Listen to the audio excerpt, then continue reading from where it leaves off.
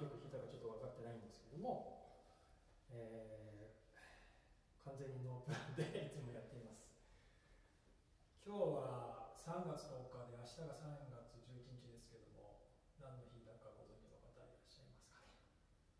今日は、えー、別に僕はあの何でもないんですけれどもただのピアノ弾きなので。今日は大東京大空襲の日なんですよね。で明日が3.11ですから津波があった日でなわけですけどもであさっての12日は満月なんですよ。でも仏滅なんですね。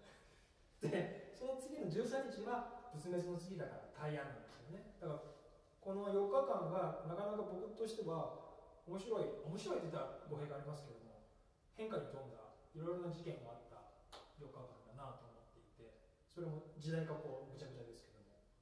現代もちょっと前ずっと前も混ざってて。でそれを、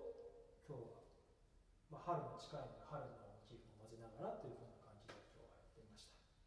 ですからさっきのは春が来たですしその前のものがかなりこうちょっとグロテスクな雰囲気があったんですけどもそれは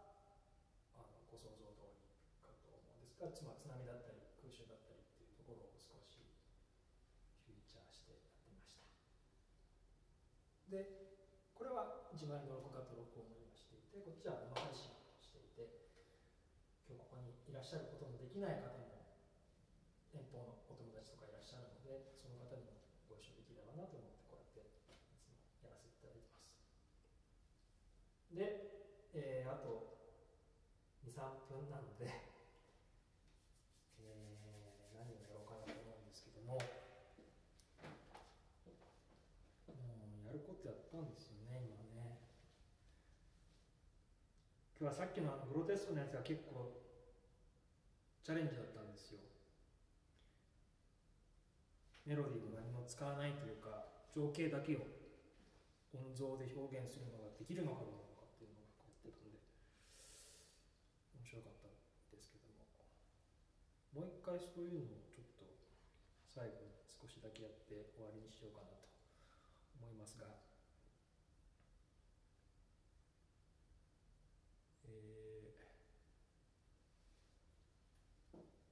何暗く終わるのはあれなので、うん、今日さっき散歩に行ったところのやつやっています。国立天文台に遊びに行ってきてドームシアターで星空を見てきたの